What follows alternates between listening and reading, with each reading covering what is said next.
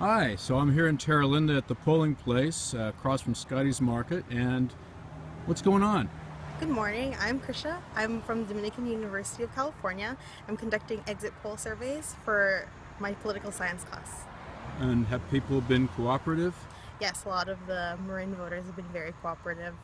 And what's the point of the survey?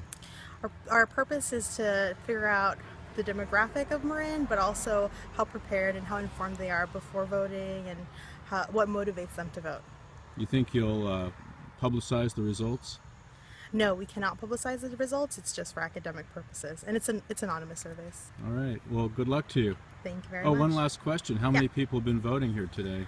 Uh, I'm not sure. I estimate around 200 Oh, that's pretty good. that have voted, including some mail-in drop-in votes. All right. Well, good luck. Thanks for your help. Thank you very much.